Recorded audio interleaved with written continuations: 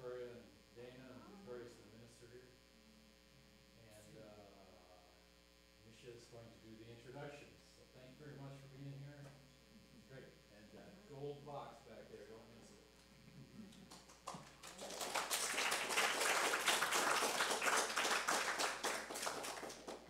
It's my great pleasure to introduce to you Yurko Fedynskyj, or Yuri Fedynskyj, the Ukrainian Kobzar. Kobzar literally who plays kobza, one of the musical instruments. But for us Ukrainians, Kobzar is so much more than that.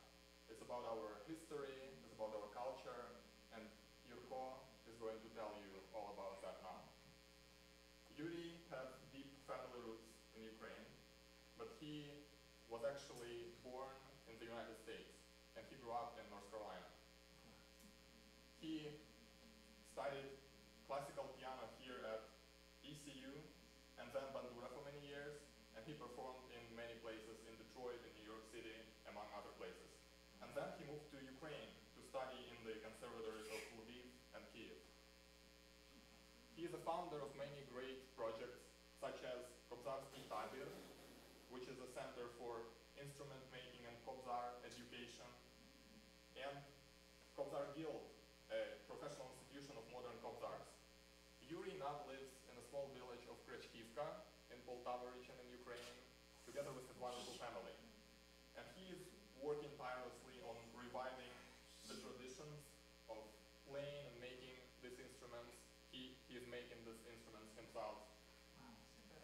educating people through master classes, workshops, and residency programs. From 2017, Yuri started his tours around the world. For now, mainly focusing on North America and Europe to bring the sounds of these once forgotten Ukrainian instruments to the global public. And he's also touring around Ukraine now during the period of war. My mother, who lives in Dnipro, she had a chance to attend one of his wonderful concerts just a few months ago. And that was a huge relief for her. I want to say that Yuri and people like him contribute a lot towards Ukraine's victory in this war.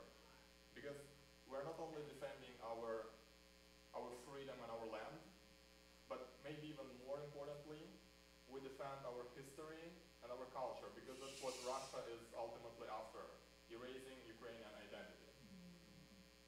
And Yuri is working tirelessly to bring that Ukrainian identity both to people in Ukraine, like my mother, who, who really need a break from all this stress, but also to the public globally.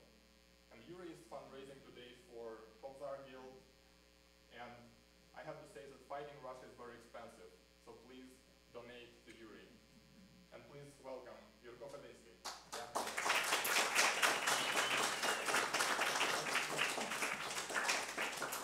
This time I have lots of gadgets I- and my voice. Was anybody here last year? Uh, uh, I didn't have my voice, I didn't have microphones, so I'm gonna actually get plugged in.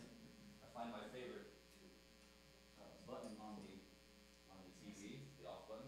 And, uh, Some microphones, yeah. It's nice to finally be heard. So I'll put these on first. But Thanks to everybody for coming out. Uh, this is, uh, interesting, uh, just, uh, crossing into, into North Carolina from Texas. I had an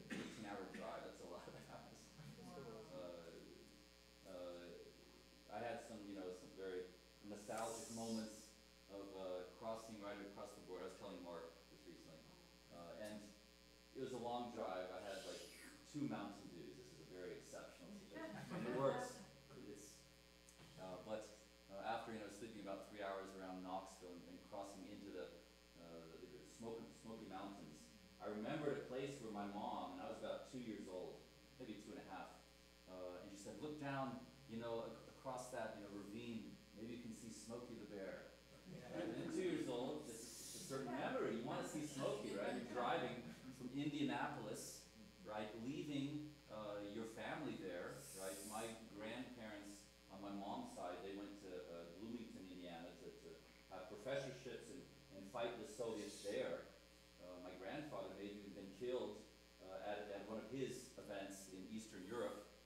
certainly the Pentagon would have gotten them into Eastern Europe to talk about American law uh, as opposed to uh, Soviet law, which is based on bribes. Uh, and, uh, at some point uh, after the event, uh, where they had uh, refreshments, he drank something and went into a wall. All right, so some kind of nerve gas or nerve something.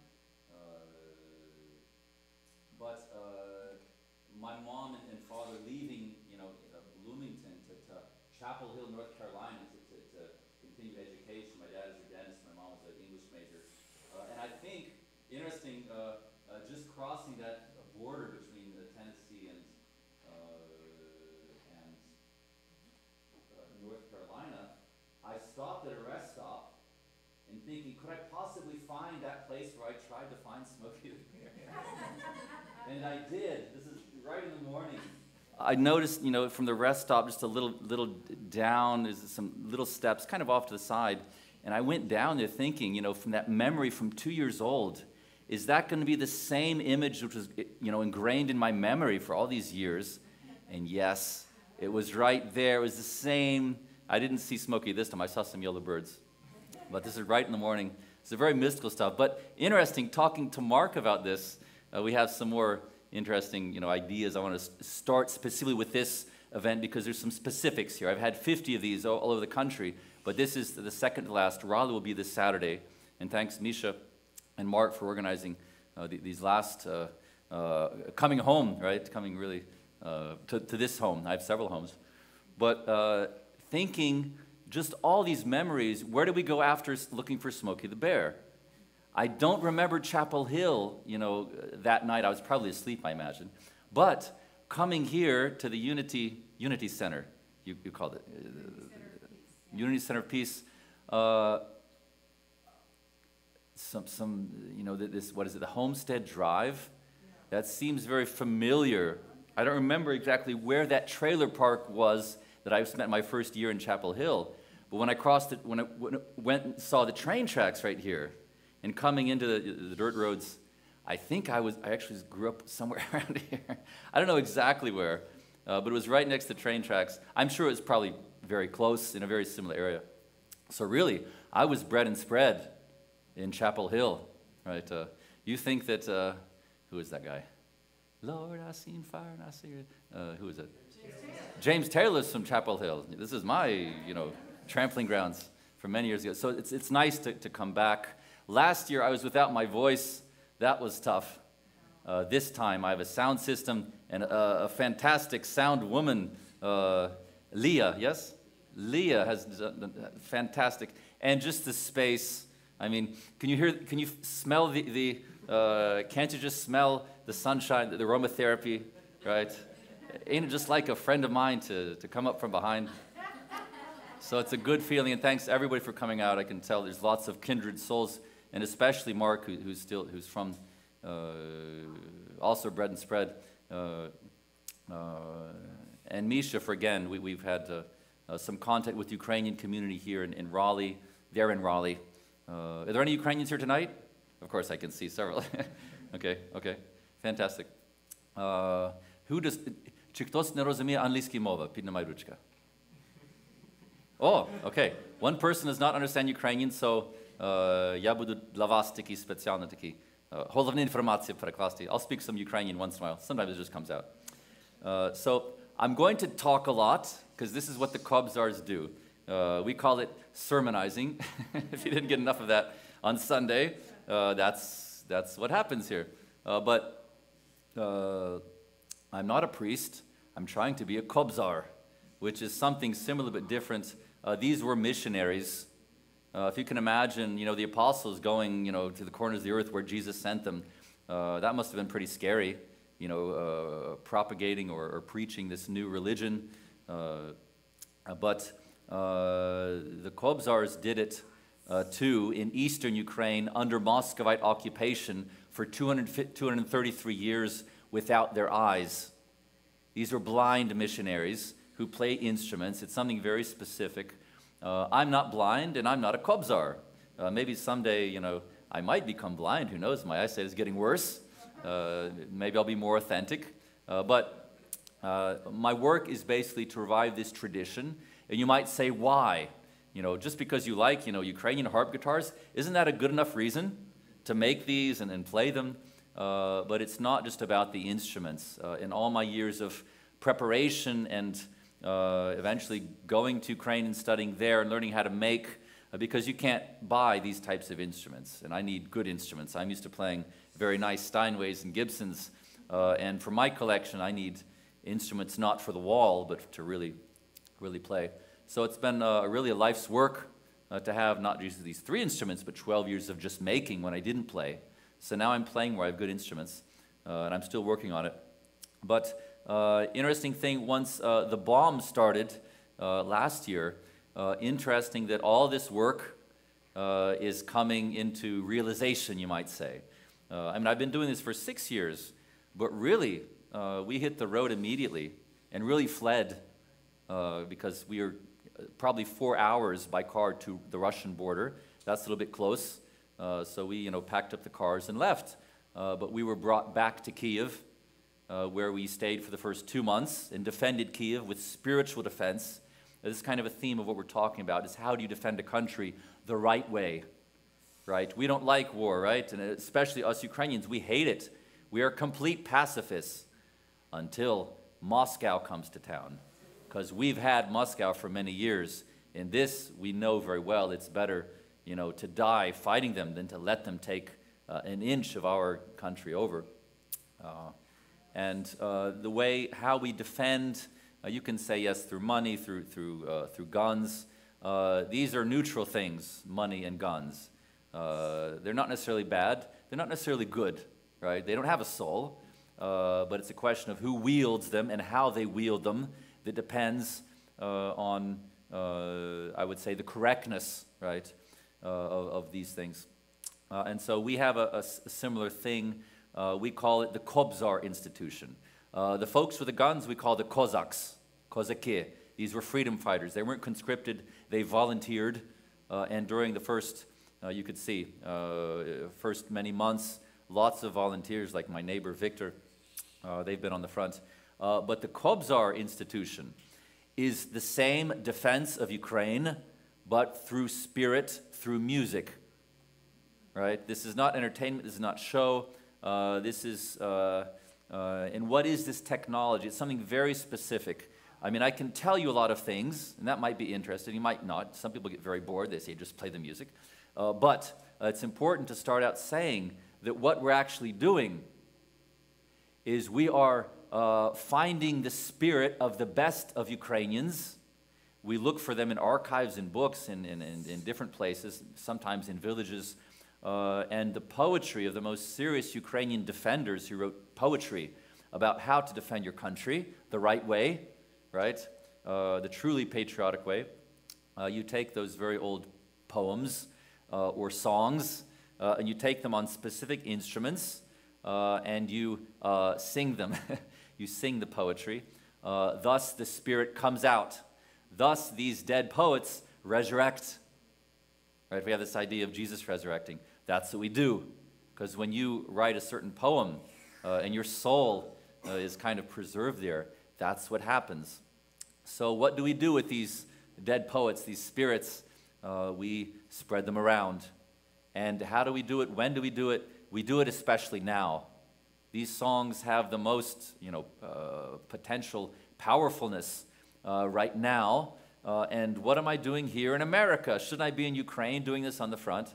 Well, for the past year, uh, except for the several months I've been here, last time I was, I think, two months uh, in June, and now specifically I'm here back in America uh, before the spring offensive. This is my spring offensive. I'm on the, uh, I don't want to say attack, but the offense, right? I'm proactively spreading the Spirit around America. Uh, you might say, kind of like the apostles spread the Spirit, right? And what happened with those spirits? Well, they created churches, they created centers uh, where Christianity then grew and grew and grew uh, to where today in Europe and in America and all over the world we have uh, uh Christianity, the philosophy is known, uh, and the world changes. Uh, and this is the same idea with the Kobzar tradition. it's not just, you might say, you know, you might say it's very politically charged, religiously charged. It's the same idea of, of spreading spirit, Uh, and these are spiritual ideas, all the ideas. Defending your country, that's pretty spiritual. Running for your, from your country, that's not very spiritual. Of course, some people have to flee, especially women and children. Uh, uh, but uh, again, I'm going to try to not talk too much. I'm not going to make that promise because then I'd have to break it. And I don't like breaking promises, especially in church. so this is the Kobza, uh, and it's so nice to have a voice. Last time was like this. I lost my voice for a month because I really abused it. I had four, four events after I'd lost the voice. So uh, this is called the Kobza, and the Kobzars played the Kobza, or the Bandura actually. Uh, and it's a, a, lute, right, a folk lute. It's made out of one monoxyl piece. There's one piece of uh, silver maple, curly, very nice. Uh, and uh, the most similar instrument, you might say lute, you might say an oud. Does anybody know the oud, the Arabic or Turkish oud? Because Ukraine is right next to the Ottoman Empire, uh, you know, at one time. And a lot of the music might sang, sound very Arabic or Turkish. Uh, this is not uh, a coincidence. Uh, this is uh, this is called neighboring cultures. But on the Ukrainian instruments, and especially uh, just like on the kobza, we have some harp-like strings. Uh, the ouds don't have those, but open strings, you know, addition to the, to the fretless, fretless neck. So the first song I play is, again, this isn't just any music. This is specifically uh, songs which will hopefully uh, help the world understand it's time to get rid of Putin. Of course, you know, uh, I don't have to convince you, that's why you're here, certainly to support Ukraine, uh, to understand maybe more about uh, who Ukrainians are through music. CNN or Fox News or whatever you watch, uh, that's your problem. it's kind of a joke. Uh, but uh, the spiritual culture of Ukraine through music, that's my problem. and how do I present it? So I start with the first national anthem of Ukraine, which almost no Ukrainians know. Uh, also, it's important to say that these instruments I play, most, not just Americans, but most Ukrainians don't know these either. We weren't allowed to know these instruments. Uh, we were allowed to know these very uh, interesting uh, spiritual uh, hymns. So, this hymn was written 8,000 years ago by a Jewish man. we have some ideas of Ukrainians being fascists or, or anti Semites. Uh, it's not true. Some people have some jokes. Everybody has some jokes, right? But uh, honestly, the first Ukrainian national hymn, uh, the music was composed in Kiev, certainly, uh, probably in the, in the catacombs, in the uh, Orthodox spiritual center of Rus. When I say Rus, I'm not talking about Russia. Russia is, is, is what we call, uh, the term Russia is really a fake, right? as they were called up until 1700 Moscovia Tataria, or you could say maybe just Muscovy, right? Mus- uh, that's who we're talking about when we talk about Russia. When we talk about Rus, we're talking about Ukraine, Kiev Rus, right? Uh, uh, today, the capital of Ukraine is Kiev because it's our capital, just like it was a thousand years ago uh, or even more. Uh, so, uh, monks writing compositions, we call these irmoses. this isn't folklore, this first song. but who is this Jewish man who wrote this Ukrainian? Uh, anybody here of the prophet Isaiah? Right? Uh, uh, and what is he writing when he prophesies about the birth of Christ? Uh, he says, God is with us in the flesh. Uh, and uh, he speaks your language, all languages. Listen to him, do what he says, because God is now with us. Now, when the Cossacks sing Snami Bok, and I'm not singing in Russian, I'm singing in Church Slavonic, the language of the monks. Uh, uh, I'm talking about not the birth of Christ. I'm talking about the idea that we are asking God, be with us, right? Uh, be with us when we defend our country. Uh, help us to where we don't have sins on our souls and on our national soul. Uh, help us defend our country the right way out of love for our neighbors, uh, from, for our children, for our wives, for our country. help us do what we need to do, even if we have to kill uh, help us to where this will not, uh, you know, be to our detriment, personal or national. Uh, and all these ideas, uh, you can imagine, uh, even today, this is how we Ukrainians defend our country. We've had lots of opportunities. We could have taken Poland. We could have taken Moscow, Sahaydachny, Khmelnytsky. Uh, but we didn't. Why didn't we? We had these big victories in the you know 1700s because we're Ukrainians. We don't need more territory. we have enough. We just want to have peace. You know, we have fantastic land. You know, the tomatoes grow well. So, Snami Bog. Uh, even the carrots. Where's the carrot? Oh, we have a very nice sign today, right? We have a, a, a trident. Uh, the, the, Ukrainian national, uh, not vegetable, but seal is actually uh, the trident. So we had a very nice, uh, good sign, good sign. Uh, so Ukrainian Middle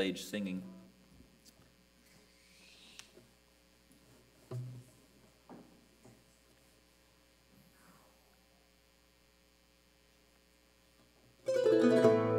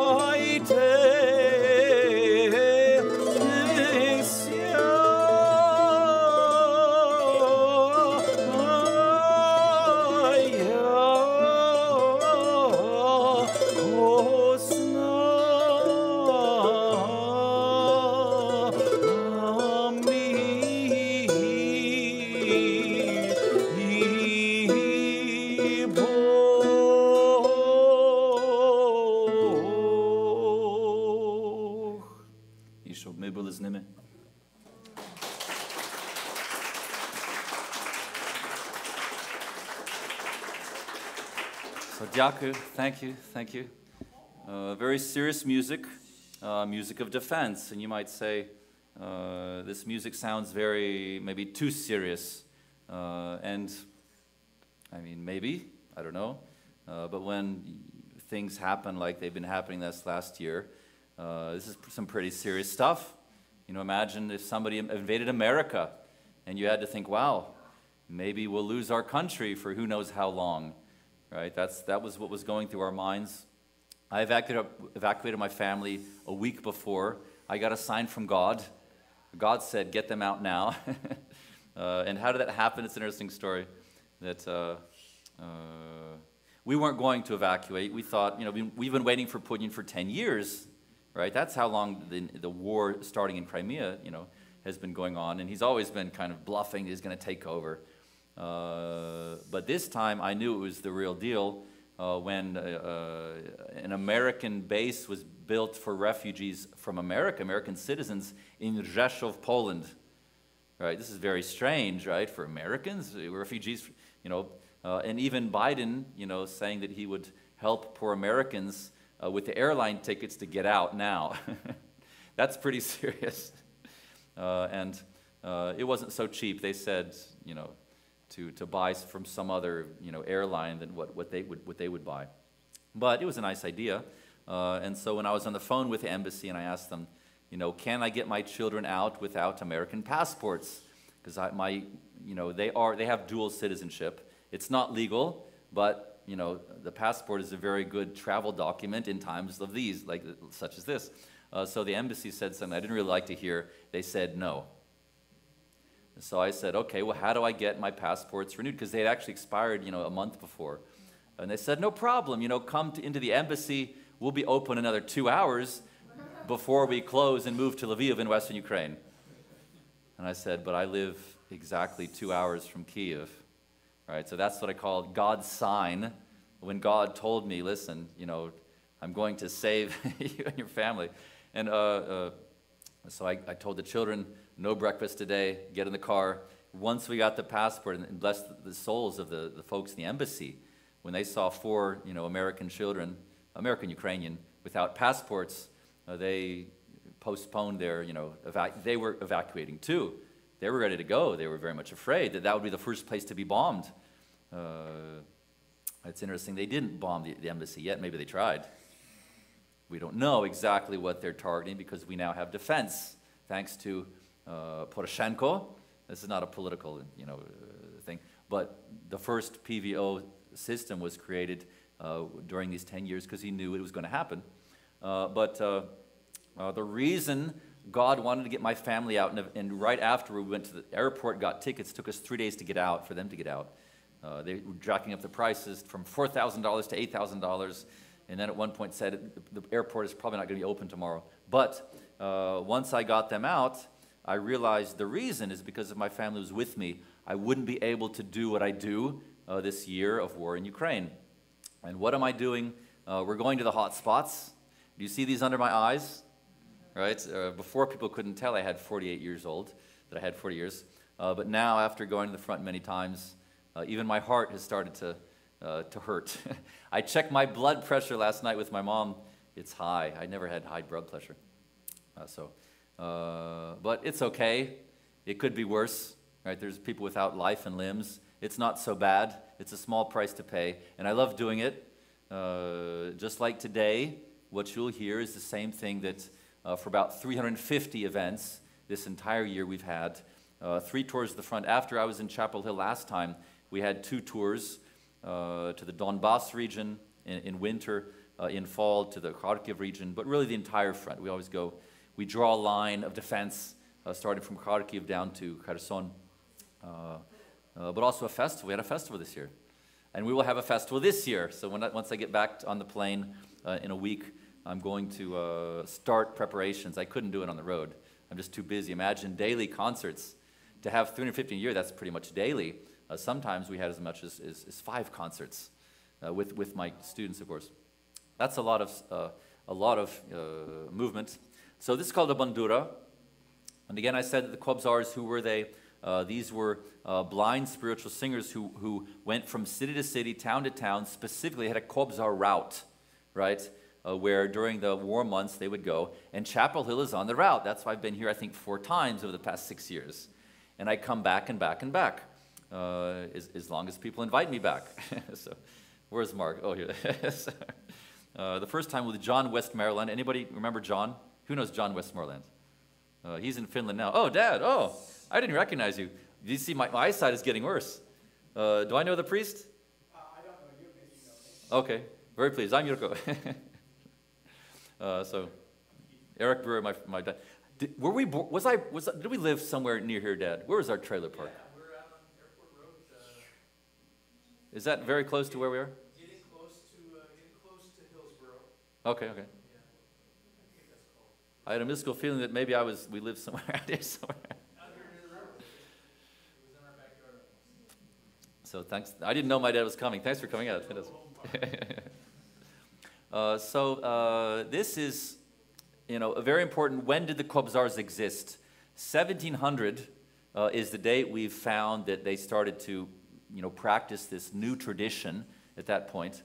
Uh, and what happened in 1700? This was when eastern Ukraine, uh, we had a country which we called Hetmanshchina, uh, the Kozak uh, state. We had physical border and a very serious border, and we knew how to defend that border. Uh, but what was so important about this Cossack state is that this was the first democratic uh, country of Europe, right? You might say, wait a second, we thought Germany was the first, or maybe England, right? They had their constitution, the Magna Carta, you know. Well, before all that, we had uh, the Cossack state in eastern Ukraine.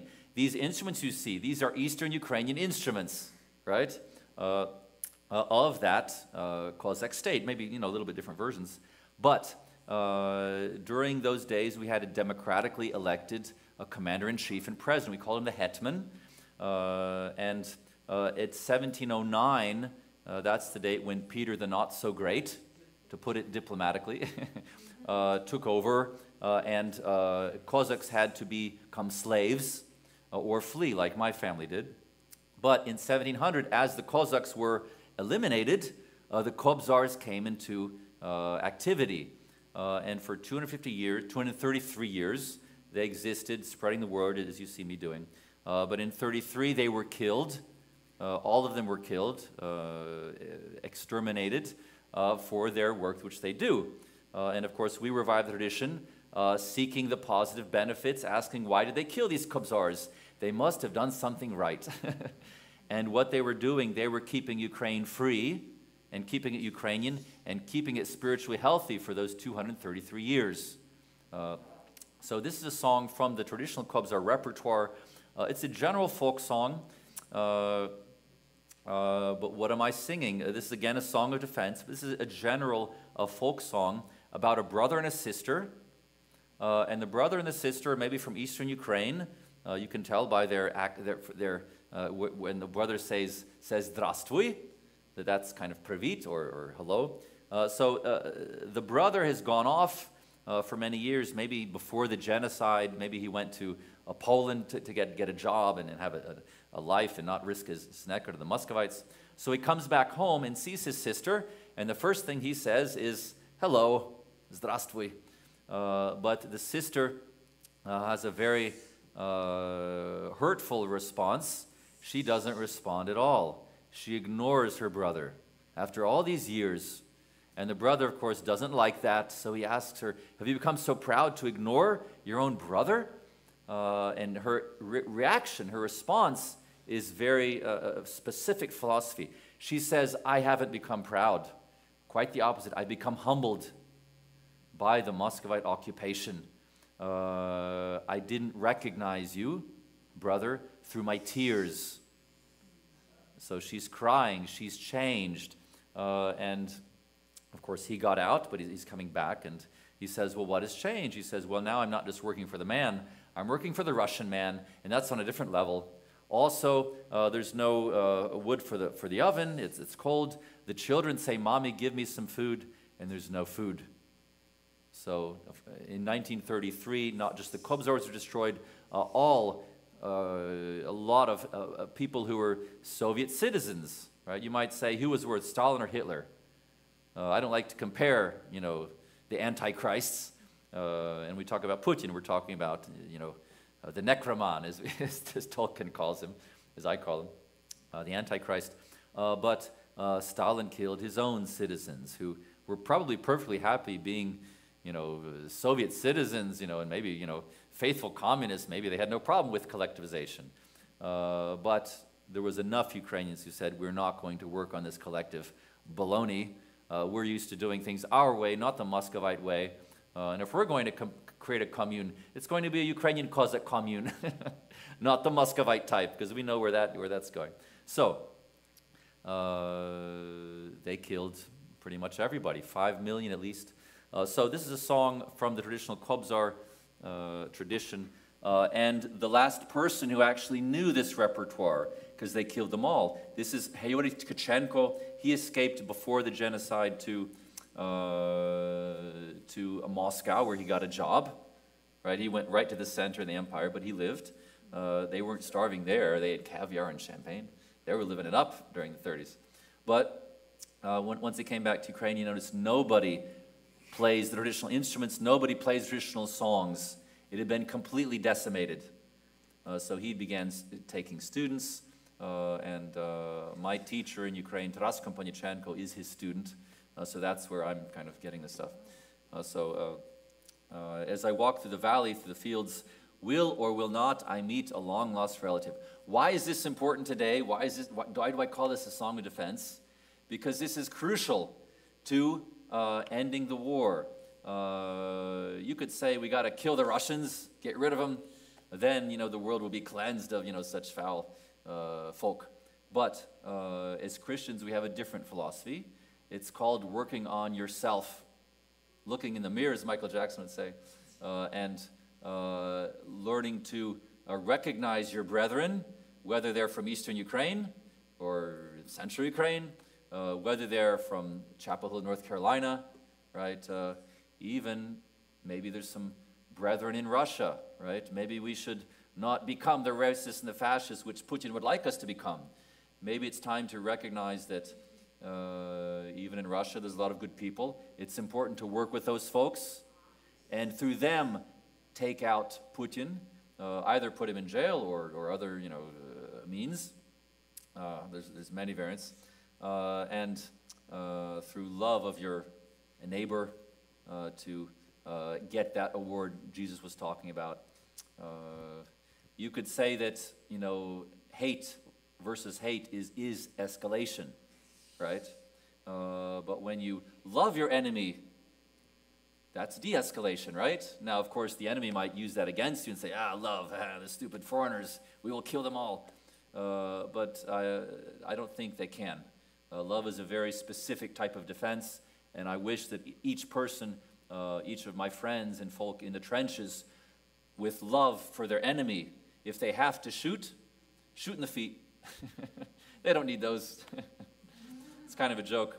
Uh, and you can't take, you know, all prisoners, but uh, I think Jesus would even say it's okay to kill in certain circumstances uh, when, uh, if you do it out of love, uh, and they don't have to attack Ukraine. They can go home. Putin can, can call them back. Uh, but if they don't, then certainly a lot of people will die. That's how uh, defense works. Uh, but uh, we gave them fair warning. so.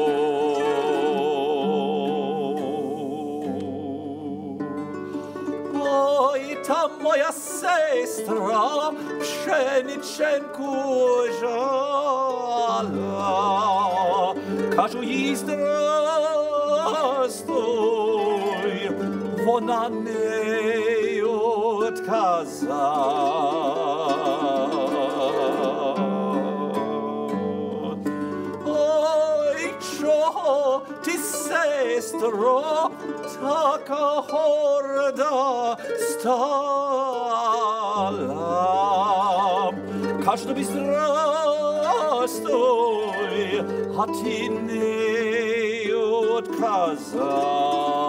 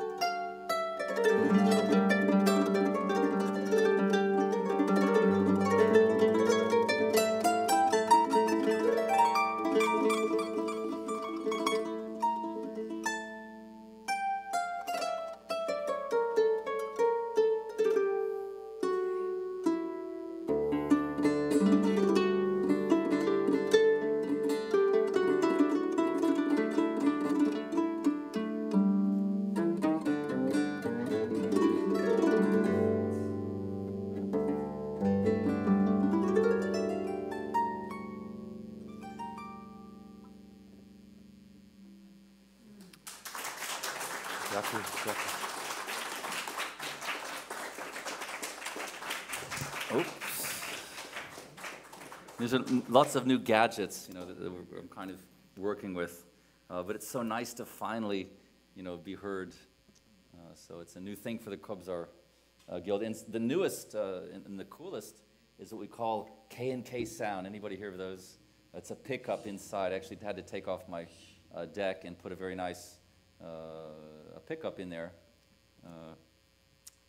And I just recently bought four more for two of my students, and the Bandura and the Kobza, won't have to use this because this feeds back. Uh, but uh, a nice uh, Bluetooth link in the place of a, uh, having a cord, so now I can really go anywhere. Uh, and, and movement is important too. Uh, so this is called a torban. It's a Ukrainian Baroque lute. Anybody hear of the Baroque lute? Any early music fans? Okay, fantastic. I'm working on actually some some some some really authentic Baroque, right? Weiss, uh, Bach, uh, Dowland, uh, Timofey Bilohradsky, uh, the best uh, lute player uh, in Eastern Europe at one point. What's going on here? Okay, something is twisted. One second. But very, very difficult repertoire. I have a good instrument. I'm, working on making it actually better. I actually recently bought some, some gut frets. I'm using nylons, which are, uh, they say, not ideal, so we'll see. Uh, hopefully, they'll arrive before my plane takes off. Uh, but uh, an instrument, not a folk instrument. You can play folk music on it, but it was made for, you know, works like Bach and Bilohradsky, uh, polyphonic uh, textures, which is very difficult. And, but when I start with the Torban, I like to start with a very specific song of defense. Uh, anybody hear of Ivan Mazepa? Okay, fantastic. Oh, a lot of people, even not just the Ukrainians. Uh, interesting, I was just recently in a small city in Minnesota called Mazeppa. Has anybody heard of Mazeppa, Minnesota? This is, this is very interesting stuff. Uh, and we actually took a trip with, with some friends from the Ukrainian community in, in, in Minneapolis. Uh, and uh, it's true, you know, there's a city, and uh, we asked some people native of, uh, you know, during, I think it was Memorial Day specifically, uh, what a good time to be in, in Mazeppa, and asking people there, do you know who Mazeppa was? Do you know who your city was named after? And one guy said, I don't know, uh, but he was nice enough to give us some, some volunteer fire department t-shirts which said Mazeppa. This is cool stuff. Uh, and the next lady said, yes, wasn't he some kind of a soldier? We said, yes, uh, and not just a soldier. He was the commander-in-chief of the Cossack forces. Uh, so she didn't know this. I proposed making a little monument, maybe a big one at some point, of Mazep himself. But the history of the city is that uh, English colonists from England who settled in America uh, were very inspired by Lord Byron's poem entitled Mazeppa. Uh, and what was this, what was this English uh, nobleman writing about? Who was this Mazeppa? Uh, well, this was a democratically elected official on the level of a king, uh, but he wasn't a king, right? He was, uh, he was a servant of the people. And uh, they were so inspired by his uh, work, his, his, democracy, his, his, his freedom fighting, they decided that he was, you know, I mean, they could have entitled, you know, their cities, so many cities from England, like New York, you know, or New, I don't know, New South Hampshire somewhere. But Mazeppa, right, that was for them uh, very inspirational, and for us too. Uh, and a lot of people who don't know Mazeppa, here is his poetry. He was not just a democratically, democratically elected commander in chief, he was a Baroque poet and a Torban player. Uh, so to actually listen to his poetry, uh, we'd like to sing his songs uh, and even play on his instruments. So we propose a reconstruction of Mazeppa himself. How would he have sounded today in Chapel Hill? Had he been able to, you know, come over on the plane after, you know, it was, uh, 700 years? Uh, so uh, who was Mazeppa? He was the last uh, very effective uh, Cossack leader who unfortunately lost the Battle of Poltava between Russia, or as it was called at that point, Moscovia Tataria again, after they took over eastern Ukraine, that's when they started calling themselves the Russian Empire. And Ukrainians say, wait a second, you're not Rus, you're not Russia, you're Moscovia Tataria. Oh, yes, but we took you over, so now we inherit all your wonderful traditions and history. And we Ukrainians say, no, you don't, because to do that, you have to be uh, more Ukrainian like and not so, uh, you know, uh, dictatorial, right, for instance, or, uh, you know, terrible, uh, not so great. So, uh, so what does Mazeppa sing, right? What would he sing today? That's the question. And me singing this song, it's not just, you know, a, relic of the past. It's the most important information of the president for us Ukrainians, along with Americans, to get our act right. And when I'm singing about uh, us being divided into the left and the right, I'm not just talking about East and West Ukraine. I'm talking about the Democrats and the Republicans, right? Uh, it doesn't matter what party you are you're with, but if you start hating your neighbor because of the other party, that's what they call divide and conquer. And it's not an American ideal. It is a Putin ideal. So be very careful. Don't let it happen. Uh, vote for the best candidate. And I'd like to thank both parties for helping Ukraine and if they, one of the, if any of the parties fail to do that, please uh, call your leaders and tell them that you will not support their party if they do such things. Uh, but so far, so good. Uh, what does Mazeppa sing about? Uh, what does he say that we have to, you know, correct?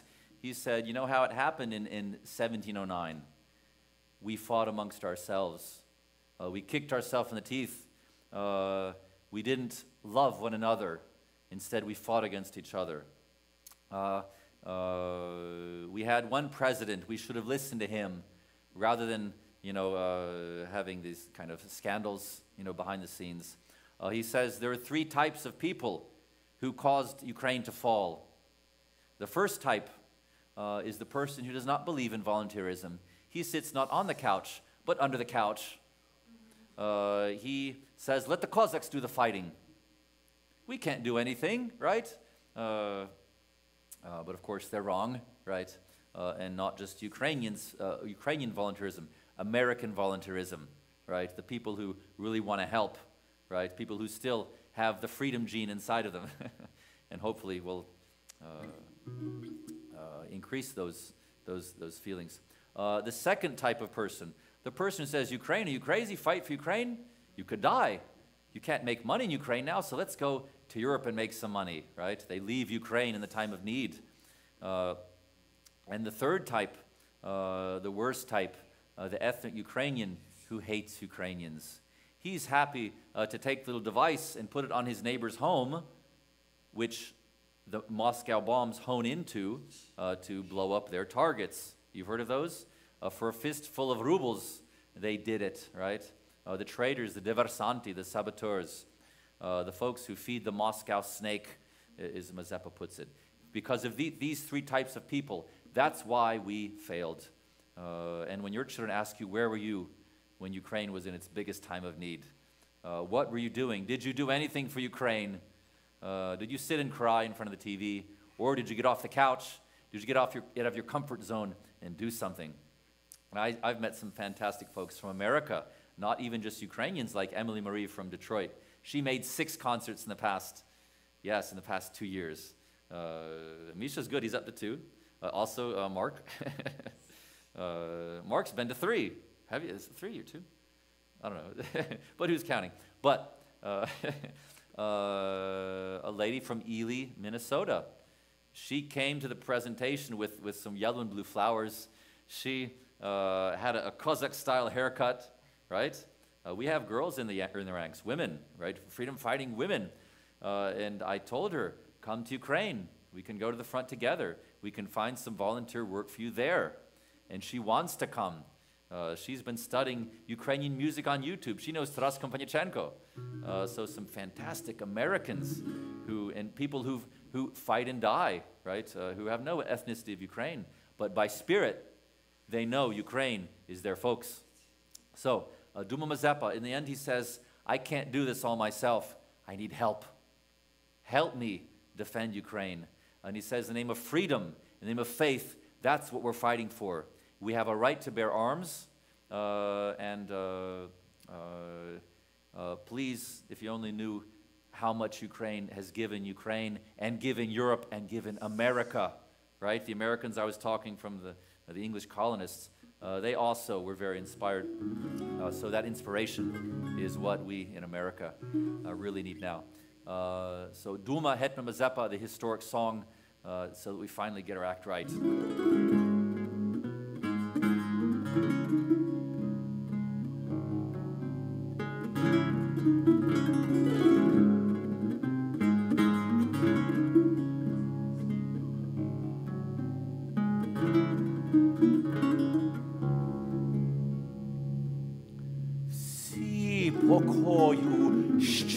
rahnut, a ne huž sit jahnut. Tvoj na pravo, tvoj na livo, a vse bratja to to divo. Tvoj na pravo, tvoj na livo, a vse bratja to to divo. Nemaš ljubi, nemaš sodi, očov tvojih zjav v vodi. всі пропали, самі себе своювали.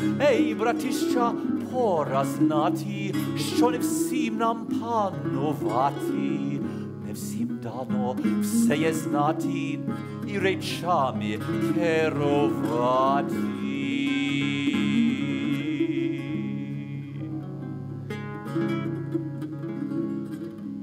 На korabel poladimo, mnoho ludej poličimo, odnak stirnik sam keruje, bez korabel upravuje.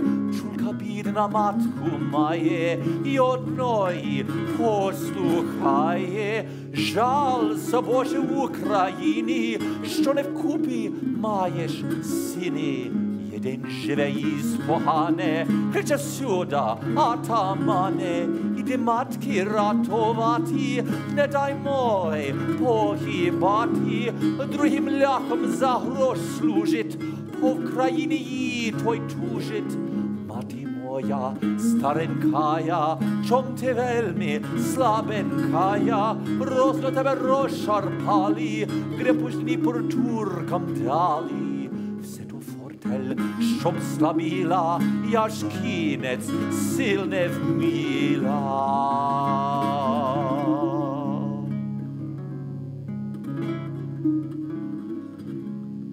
Третій Москвію ж голдує, їй вірнею слугує, на матку нарікає і недолю проклинає. Ліпше було не родити, ніж в таких бідах жити. От всіх сторон ворогують, окне мечем руїнують. От всіх нема зічливості, ані слушної учтивості. Мужиками називають, а подланством дорікають.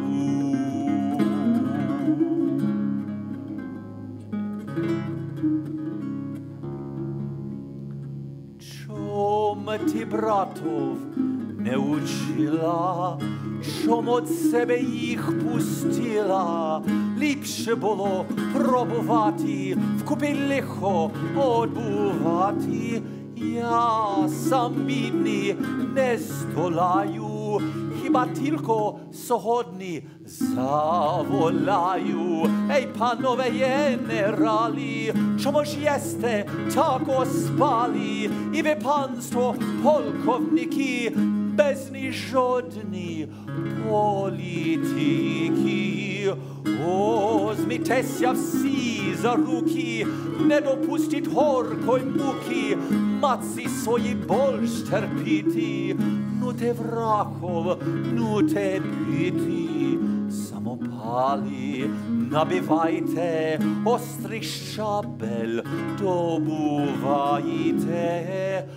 А за віру хочу мріте, і вольностей бороніте, нехай вічна буде слава, же при шаблі маєм права, вічна буде слава, же при шаблі маєм право.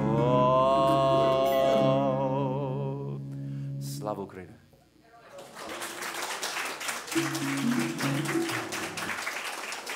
And you might ask, this is lots of text. These are text based songs.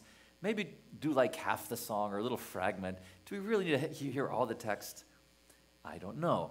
But, uh, you know, music is an international language. You don't have to know the text. And I told you what I'm singing about anyway, right? But the idea is emotions, right? Spirit. That's what comes out. And will it make a change in you? Will you go to your neighbor and maybe you being a little bit, maybe you'll have some interesting ideas to tell them? Will you spread the Spirit? I don't know. But this is what I do, right? Uh, you don't have to go to every American. Just go to the serious ones who are serious enough to invite me. Uh, spread the word to the people who, not the ones that don't come out to the event, but the ones who come out to the event, right? Uh, and with that very serious group of people, if you weren't serious, you wouldn't be here, right? You'd be watching, you know, the serial sitcom, which everybody watches on Thursday night, right?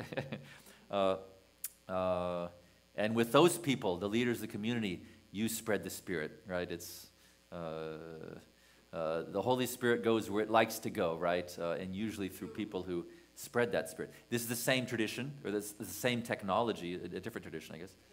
Uh, and uh, I don't know where all this is going, but I do know that all the countries I have done this tradition in the past six years are the countries that support Ukraine the most. Uh, except for England, I haven't been there. And they're pretty supportive. But I don't know how effective my work is. Uh, I don't have to know. I do what I can do. I do as, as much as I can do it. You might say this is crazy to have so many events all the time. Uh, but uh, I never promised anybody I was sane. And I love my work so much that I want to do it more. Right? I mean, in two months to have 50 concerts, is that even possible? yes, and I've been training for, for many years. At first, it was, I would take a week to have one city. Uh, and now one day, uh, two days is too much. Uh, now, of course, my, my voice does struggle, but my fingers love it. uh, so my voice is back, and I've had three days of rest actually, driving from Texas. Uh, so uh, besides Mazeppa, who do we have? Uh, you're, you're from Bucha, right? But you've lived here since 2000, 2000 right? Yeah. and interesting, talking to Pavlo, he said that his parents uh, made it through occupation, right? Russian occupation. Uh, and uh, once Buch was liberated after the second month, I think, uh, his parents went home. Uh, and I met a guy who also uh, got out when he realized that he might not live long as a civilian in Bucha. and he came back, and when we, when the the block posts where they, you know, have checkpoints, when they opened up and let people uh, go to Bucha. This is the day after demining. Uh, we decided it's time for us to go. And we didn't expect to find a lot of refugees, or these aren't refugees, these are people who stayed home, right? Uh, civilians still at home. Uh, but we've, we've, we've found many. Uh, but uh, the idea is not just, there's, there's several different things we can do with, with the instruments. and one of the things we had interesting invitation from, from the guy from Bucha uh, was to actually have a Kobzar funeral. And I asked him, I mean, I th- thought we were going to a parish of living souls, uh, but he invited us to the church where there was, in back of the church, the mass grave. Uh, and I asked him, was there a priest? Was there a funeral? No, of course not. You know, the, the block posts were just opened. Uh, and we only got in because we took about many hours going around village to village uh, to, because the road was, was, was bombed out, the, the main highway and the road to European. Uh, so we found out how to get in there, going through Bilohorodka and some other little cities. But uh, what would you sing at a mass grave, right? Could you sing? Uh, and looking at the photos in Facebook, of course, you break down and cry. There's no question about it. Uh, when actually going there, uh, we had a different spirit. Uh, and I decided to play John Dowland, a lullaby, right? He's singing to a, a girl who's crying. She's very sad uh, maybe in, in Renaissance, uh, Shakespearean times, uh, melancholy was very popular. Uh, but interesting, after seeing this song at the grave, I realized he's singing to a dead girl. He can't see her eyes because she's underground. Uh, in some mystical things, uh, singing, you know, as the sun comes out tomorrow, you know, the song. The sun did come out that time. So, very, some confirmations that this is the song to uh, sing uh, for the souls who were killed to rest in peace. We might have some saints in there, people who did not want to leave their homes.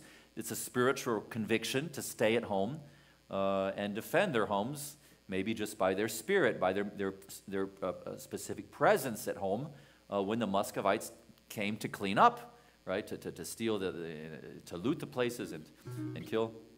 so the idea is rest in peace right? Not uh, panic, right? That's what Putin wants. He wants panic. We won't give Putin what he wants. Uh, and when we say in Ukrainian, uh, Pamyat, we're talking, we're, the translation is eternal memory. Let's not forget what happened. And we say let's not forget, that means let's not stop helping Ukraine. 20% of our country is under occupation. And you think the killings were just being done in Bucha, Izium, Kherson, right? The torture chambers, you've heard of those. They're still in existence all in all those places. This is a Putin order to rape and pillage and torture. So uh, there's a lot of people in that 20% of our country, and we need to help them. But let's talk about all of uh, the present empire, which, which, which we call Russian. Uh, a lot of those lands uh, are not Russian uh, and are also under occupation, like a certain part of Georgia, uh, the entire country of Belarusia, and what's happening to Putin, people who protest the Putin regime to those people, right? Uh, they're also being beaten and taken to jail. Their children are being taken from them and put up in orphanages. Uh, so, uh, when we say don't forget, that means let's not stop uh, fighting for those people.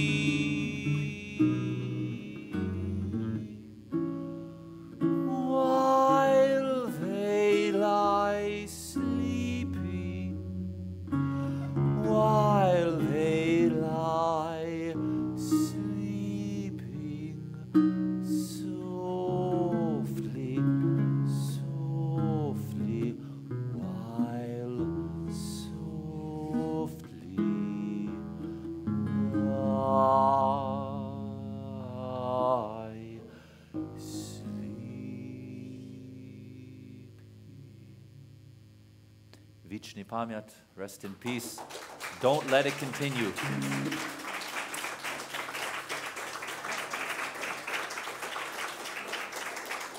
So you might say, John Dowland, what does that have to do with anything? Uh, there were some proto Kobzars, right? People who uh, kind of were similar to the blind Kobzars, but different. Uh, lute players like the troubadours, maybe the Irish bards, uh, maybe anybody here of the Texan Blind Willie Johnson. Oh, tell me who's that a riding? Oh, tell me who's that a riding? Oh, tell me who's that a riding?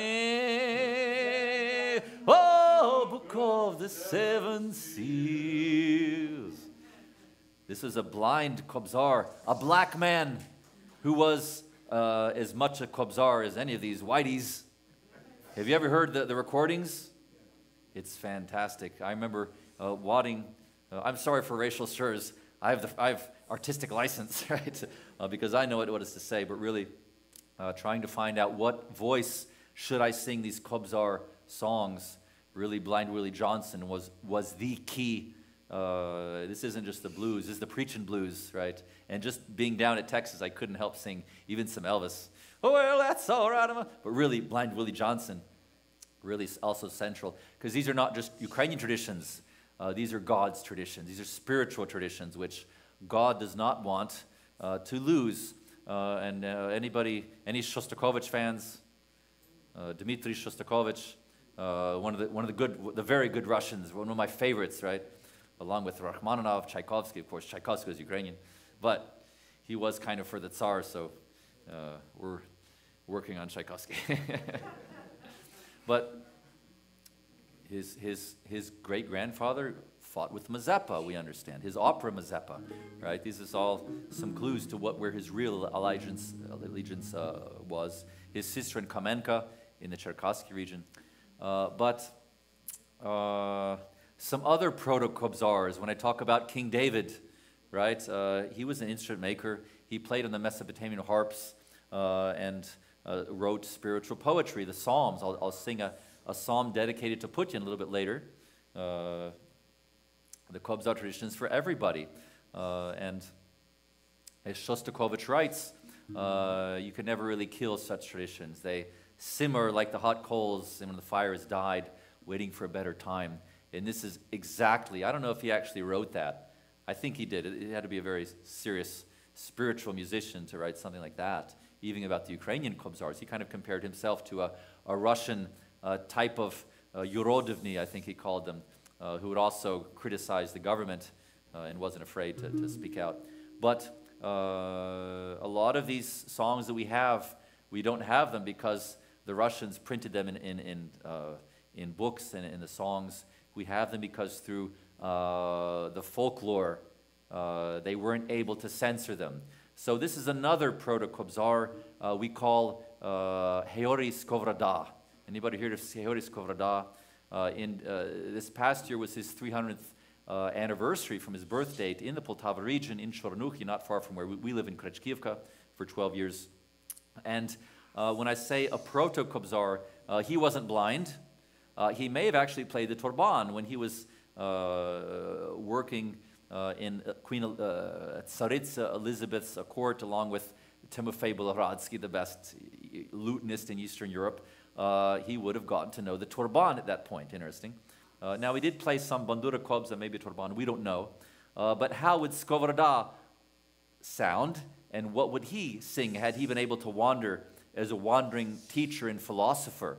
Uh, we, we, have his poetry, uh, his most famous called uh, The Divine Garden, uh, very similar to your Divine Garden.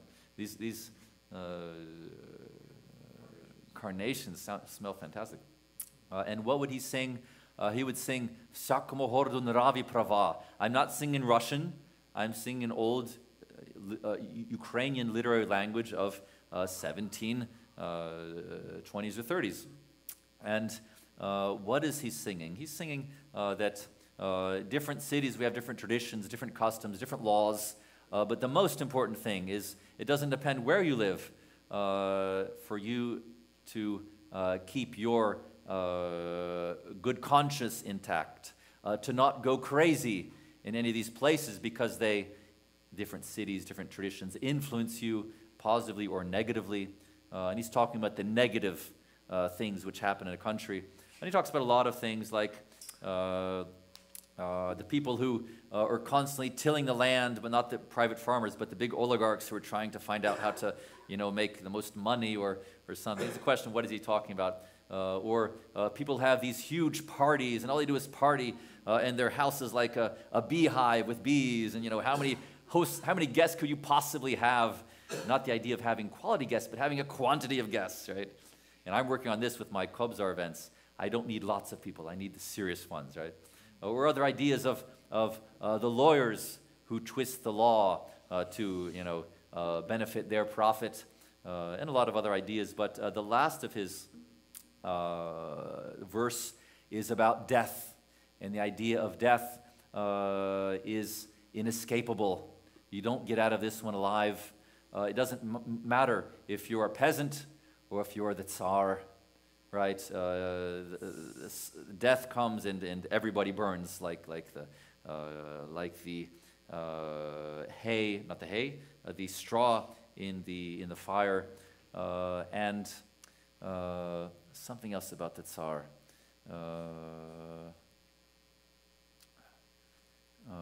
and just the idea that death, death will come to everyone.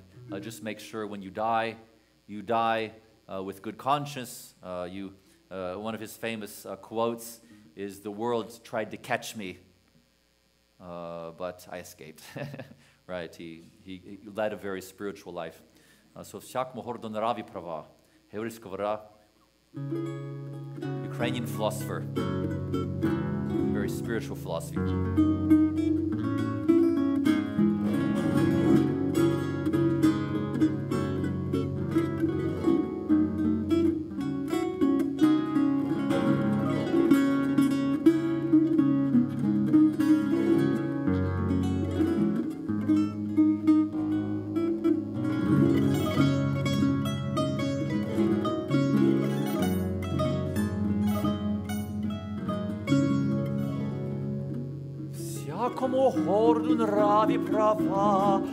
всяка імеє свою голова, всякому серцу своя єсть любов, всякому горло своє скускаков.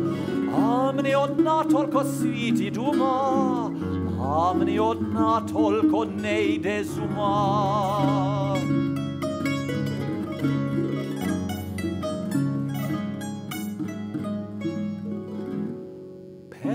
Petr Lacinow chlіб панський трет, Хведка купець при Аршине все лжет. Тот строїть дом свой на новий манер, Тот се процентах пожалуй повер. А мені одна только світі дума, А мені одна только не йде з ума.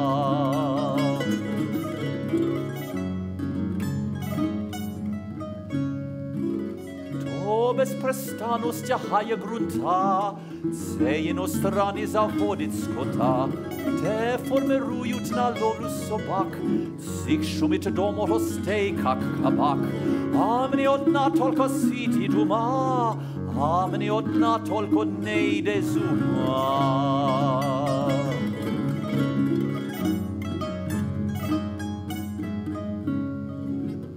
Ojtna svojton jurista prava, stisput studentu treščit holova, Teh bezpokojin venerin amur, sjakomo holovu mučit svoj pur.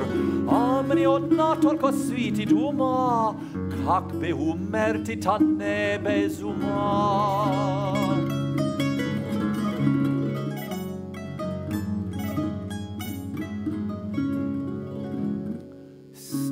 страшна, замашна, як осо, ти не щадиш ні царських голосов, ти не гладиш де мужика, де цар, все жереш так, как солому в пожар.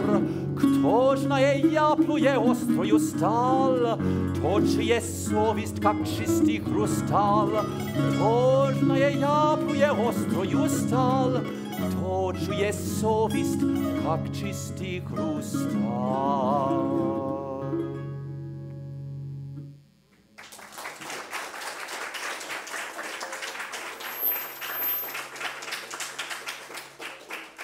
Дякую, дякую. Uh, and just some other incredible Ukrainians without their spirit, uh, we would have a lot less defense. Uh, the main poet, uh, anybody who has any ideas what I'm going to play next? Who is the main poet in Ukraine? Of course, all the Ukrainians know. Who? Any other ideas? Okay, I think it's unanimous. Shevchenko. Uh, this guy was a fantastic artist, one of the best. If you saw his, his paintings in, in Kiev, once you go outside, you say, What happened to Ukraine? Right? He, he, the soul and the beauty of the country, and the, faces, in the portraits, and everything, in the landscapes, it's all there.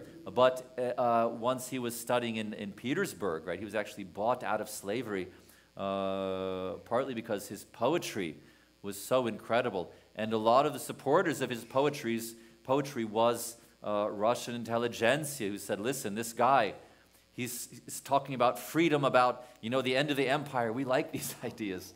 Of course, the Tsar didn't like those ideas and sent him into exile and forbade him, uh, forbade him to even have a pencil and paper. No drawing, uh, no sketches, no poetry.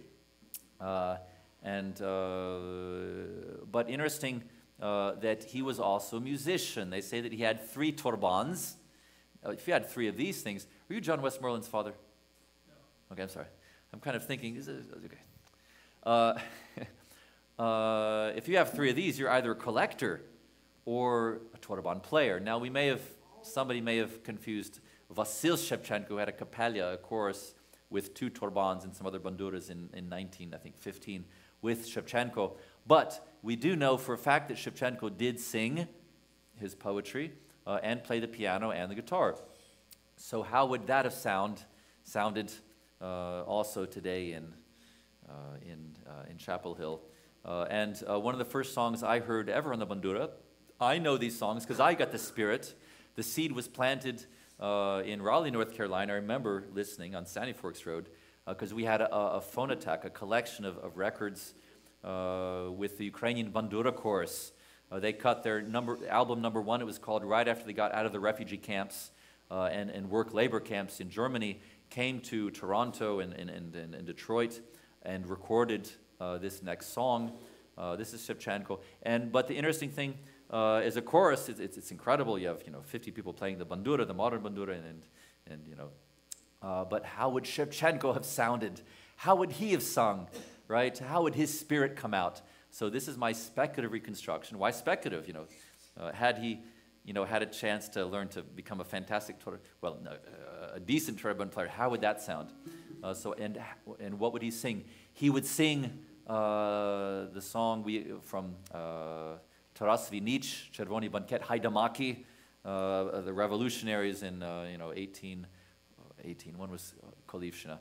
1750, maybe? who knows there, when Kolibula Kolivshina? 1750? 1760? Around that time, a long time ago.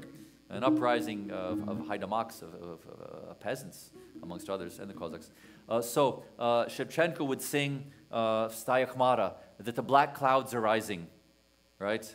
Uh, he's not talking about the weather, he's talking about the Muscovite hordes. One from the Crimean region, another from across the field, maybe Donbass, and he compares Ukraine to a child who's crying uh, and nowhere to turn to. Uh, the child goes to uh, Mommy America and says, Help me.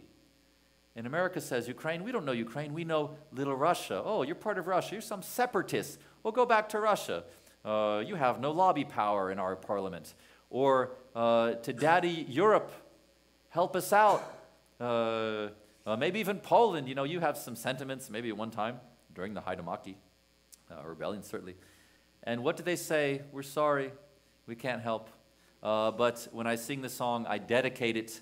Uh, Shevchenko says the worst thing happened under that Russian occupation for all these centuries, uh, such is the fate of us. Uh, the Cossack children no longer are freedom fighters. Uh, they no longer fight with love. They are no longer baptized. Maybe he's singing about the, the Soviet years. I don't think just. Uh, the, the destruction of the Cossack uh, forces. That's what he's talking about. But of course, I sing the last verse in the past tense uh, because now the children of the Cossacks are in place, in positions. Uh, those the people who are defending the free world today. Uh, and uh, I want to take this chance before I forget to thank each and every American and especially tax paying Americans that you have helped so much uh, we had the things which we needed the spirit, the love, uh, the bravery, uh, and you had the dollars which, with, with, with which we've bought, we have bought the uh, ammunition, uh, the tanks. We're waiting on the planes, uh, the fall offensive. That's what we really need. and now is the most critical phase so that America does not turn off the TV about Ukraine. I just recently, my mom was watching one of the news stations, I won't say which. I'm not happy with which one. It's. But I'm very happy that they showed a drone while there was a Russian, a lone Russian soldier asking to surrender. And I was wondering, do you see, I was wondering, do you watch Fox News too? Come on, tell the truth. it was on CNN. Oh, okay. Or it's not important. okay. It was, uh, uh, oh, it's good, all the stations. Fantastic. And thanks to everybody. It's like a minefield. so, and I'm thinking, what are they going to do? Are they going to shoot the, the, the prisoner? They took him prisoner, and I'm happy to say, I'll tell you the truth, it doesn't always happen that way. I asked my friend, Do you take prisoners? And my friend said, it's very difficult to take prisoners. Sometimes you have to shoot. Uh, but I'm glad that they do show positive propaganda uh, because honestly, we don't want to shoot. Uh, well, I can't speak for everybody, but just in general.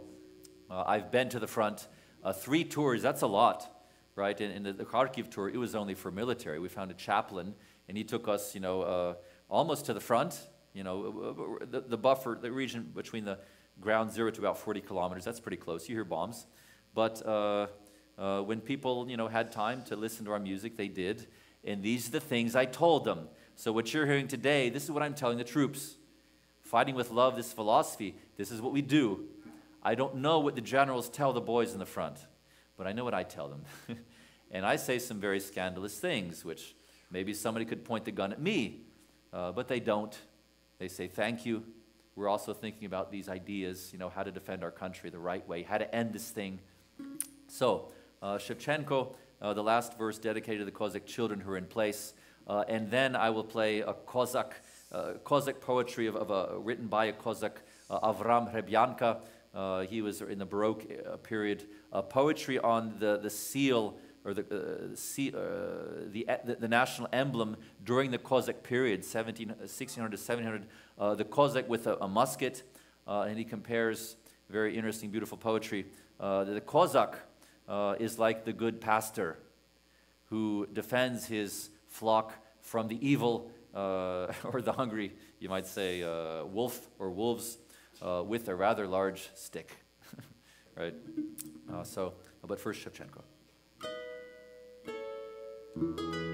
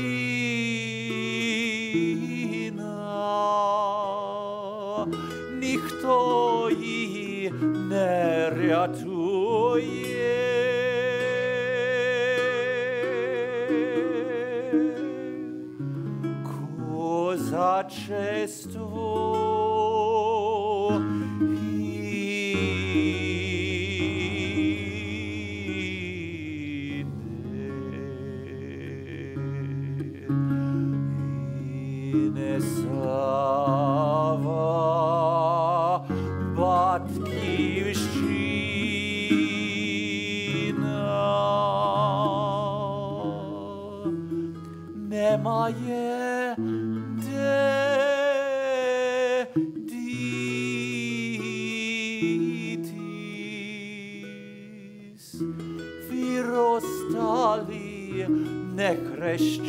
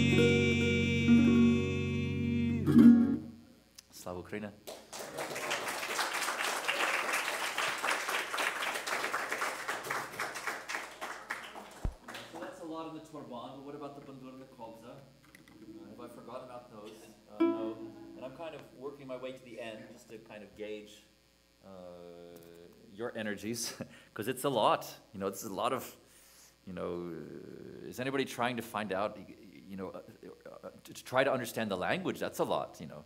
If you understand Ukrainian, it's, it's very difficult if you don't know the language. Uh, so it's a lot of work, and what a great way to get to learn Ukrainian. Uh, but again, uh, the emotions that are there, um, that's, that's the important thing. And I told you what I'm singing about. Uh, so I talked, talked about King David, uh, but I have not given you an example of a Ukrainian psalm. Uh, you know that there's the book of Psalms, right? Uh, these are songs, these are spiritual songs which David wrote. Uh, and this is uh, the genre which we call the canti, uh, canticles, or the psalms as well. But in Ukrainian language, Ukrainian Christian philosophy, sometimes the cants were you know, about religious figures like Jesus or, or Mary. I made a mistake. Before I play in the bandura, there's a specific song I want to play, uh, Kant uh, do. So this is a song of defense, uh, uh, dedicated, and not just dedicated, we're actually talking to Mary, the Mother of God, asking her to close our skies. We have this kind of a motto asking NATO, close our skies, help us protect us from these bombs which are constantly raining, even today. Uh, well, I don't know today, uh, but in, the, in this month, uh, the whole year, right? Uh, nobody's safe, but little by little, we do have these missile defense systems which are in place in most of the big cities, thankfully. Uh, but uh, still, uh, a place like Zaporizhia, Dnipro, Kharkiv, Kherson, Mykolaiv, they're very close to the border. You don't have time to even have air raid signals and go to the bomb shelters. And there's people living there. There's lots of people, like your mom. Uh, I didn't even know that your mom was actually in one of the. I think maybe she told me, but there was somebody else, somebody other's mother, a mother whose son was in Canada, uh, Alexander Keat. Uh, but but your mom was at Dnipro at the library probably. Uh, so uh, it's fantastic. Imagine uh, me kind of being a bridge between you know the outside world and, and, Ukraine through a spiritual, making spiritual links. And one of the reasons I, am sure Misha decided to really help out uh, was uh, uh to make his mommy proud, right? and so, and if she's watching, what is your mother's name? Natalia. Natalia, synochek, synochek dobry. And your mom is, is, is fine too, I hope. Uh, but really, I mean, it's, it's terribly dead. I have a friend in Zaporizhia. He lives right next to a military base with his family of two boys. Uh, he makes drums and is creating a musical, uh, but also he, he's a Buddhist. Uh, he believes that uh, all this will pass, but to evacuate for, for him, uh, he doesn't believe in that. There's something against his philosophy. And a lot of Ukrainians, a lot of people who have returned home, you might say, What is my family still doing there? You left your family in Ukraine, right? Last time, you know, I was very lucky to have a father who was happy to donate $8,000. That's a lot of money to, to fly out, and that's what it cost before they closed the airport. So thanks, Dad. Uh, I mean, he knows it. But uh, this last time I asked my wife, Would you like to evacuate Ukraine? Uh, and she says no. Uh, now, I have a very serious wife. You know, my dad knows, uh, Misha knows, uh, Mark knows.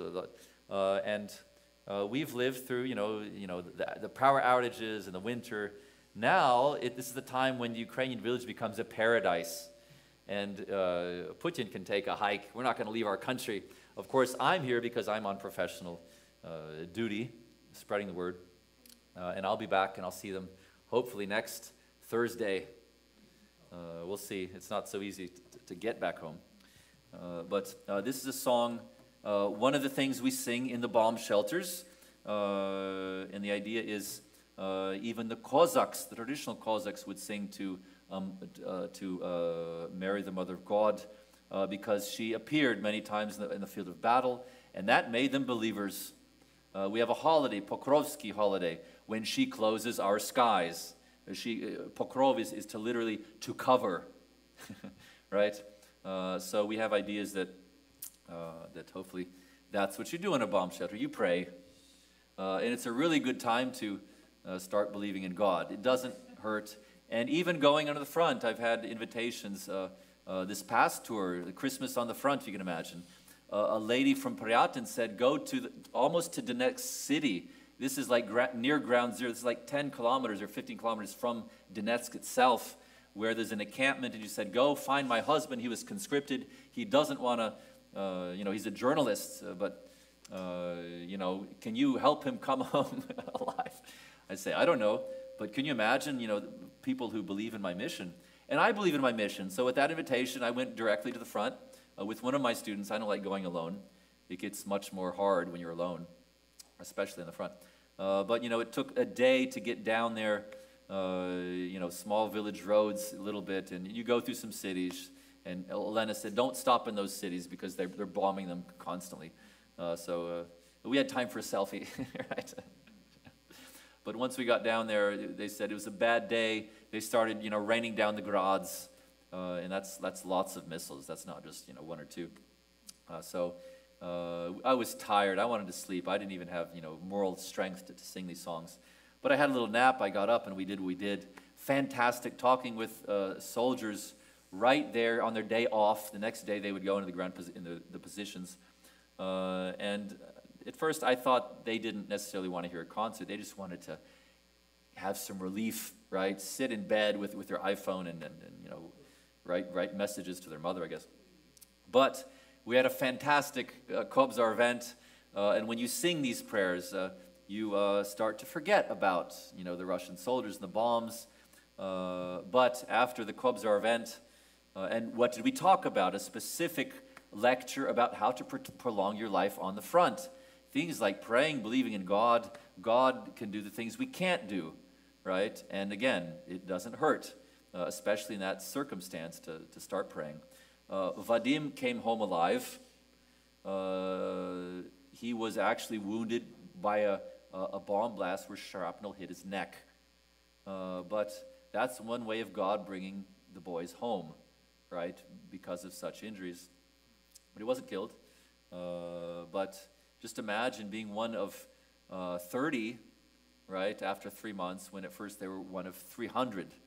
So they know they're either going to be either die or go home wounded. That's the only options. And uh, one of my students, uh, uh, Volodya Havraluk, he died. He was making a bandura. He was fighting for 10 years. He was a Cossack. He knew at some point it might happen, and outside of Bakhmut, it did happen. Uh, or other folks like my neighbor. Uh, uh, the reason I actually had a possibility to fly to America is because he loaned me $2,500. How can folks fighting Ukraine have so much money if they're living in the village? Because of your tax dollars. That's why. And I said, Victor, can you loan me $2,500? I don't have any money. My money ran out from, you know, from what we do going to the front. Lots of gas usually. Uh, and he said, yes, Yuri, but you don't have to pay me back. Just buy me a drone. I said, Victor, I will find you several drones for you and your friends. Uh, and that's why we have a fundraiser today. The funds are not the main part of, part of what I do. It's kind of like a side project. But I've, last time I was on the Donetsk front, uh, he said, listen, Yurko, we have a gun. It's called a Minomet. It's like a short-range artillery uh, weapon.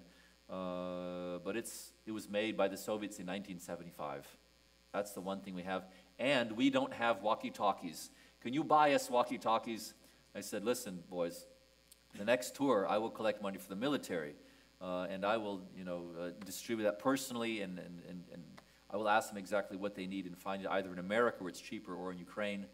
Uh, uh so uh, this is a song, a cant to uh, Mary, the Mother of God. one of the, the and we have some interesting poetry. It compares her to a flower, right? A very, you know, a very fragrant flower.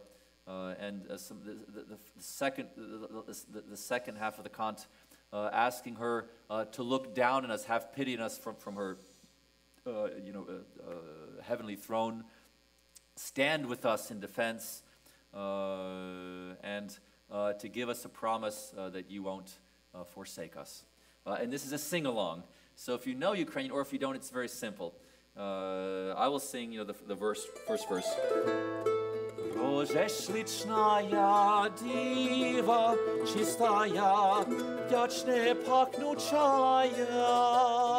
In your part, in polyphonic Bahata Holosya, right, you can divide into parts, uh, will be uh, Podaj nam ruku, ne daj nam muku, matko miloserna. Now it's a lot to ask, I know, uh, but you can do it, and especially folks who know Ukrainian. Let's try it together. Podaj nam ruku, ne daj nam muku, Matko milosrdna ja. Podaj nam ruku, ne daj nam muku, Matko milosrdna. And what are we singing? Uh, Mary, give us a hand. Don't let us suffer. Uh, you are our mother uh, of compassion and mercy. so let's give it a try. It sounded good. It sounded good.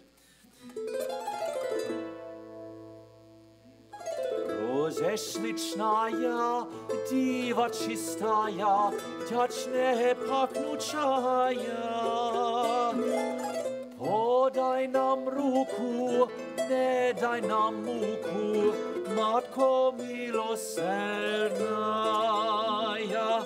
Podaj nam ruku, ne daj nam muku, Matko milosrdna. Bila Lelija, Diva Marija, śliczne pachnuczaja. Podaj nam ruku, ne daj nam muku, Matko milosrdna. Ja. Podaj nam ruku, ne daj nam muku, Matkoż milosrdna.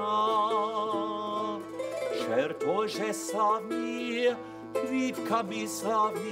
Ty s Hristos hotovani.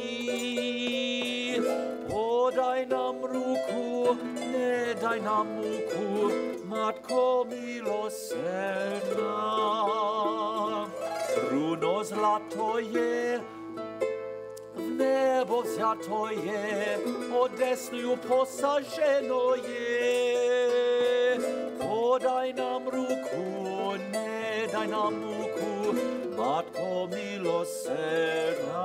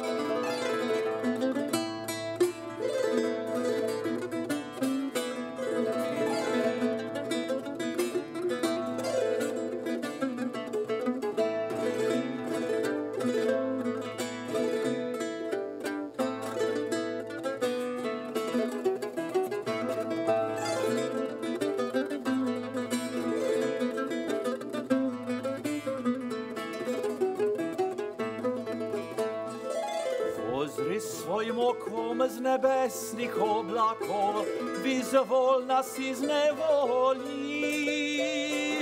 Podaj nam ruku, ne daj nam muku, Matko milosrdna. Ostani z nami, ze svojimi sluhami, Carica nebesna ja. Podaj nam ruku, daj nam muku, Matkož milosrdna. Daruj nas pokojem, pokrovom Tvojim, virnih na slu svojih. Podaj nam ruku, ne daj nam muku, Matko milosrdna. Podaj nam obi, primi nas sobi, Matko milosrdna.